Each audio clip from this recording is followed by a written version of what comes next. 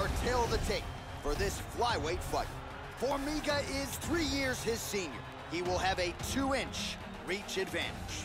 Now for the introductions, here's Bruce Buffer. You ready to fight? You ready? We are underway.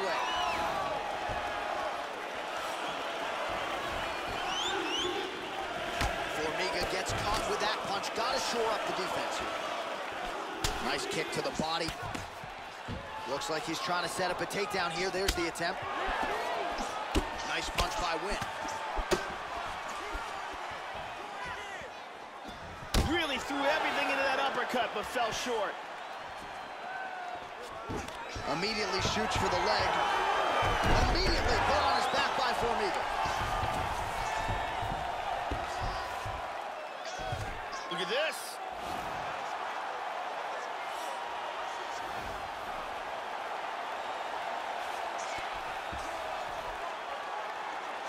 Traps the arm, throws his leg over the top. Wants to secure that ankle underneath his knee. He's got it. Wow. Inside control. Oh, nice punch there by Nguyen. And busy as he looks to improve position here. Two minutes have expired here in our opening round. Trying to take the back here. The ground strikes continue to pile up. Full guard. He lands a big shot from the bottom. Excellent movement and transitions here on the ground, staying busy.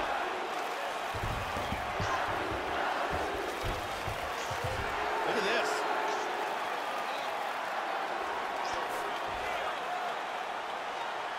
Traps the arm, throws his leg over the top. Wants to secure that ankle underneath his knee. He's got it. Getting tighter.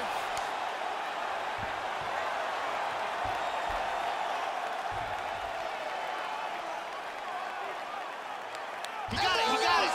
Nicely done. He got the choke for the tap. Well, yeah, so the work in the gym pays off here tonight as he gets the win by submission. Gorgeous setup on the choke, and I think even better execution down the stretch. Clearly, it was sunk in deep. His opponent had no choice but to tap or take a nap. In this case, he chose to tap out. And here we can see it again. That's a real tight choke here.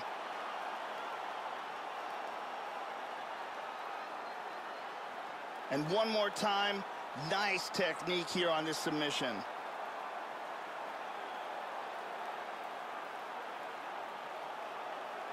So a seminal moment for this fighter here tonight as he gets the win by submission.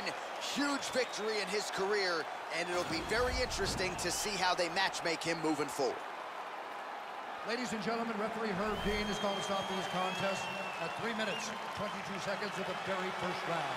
Declaring the winner by tap out, Jussier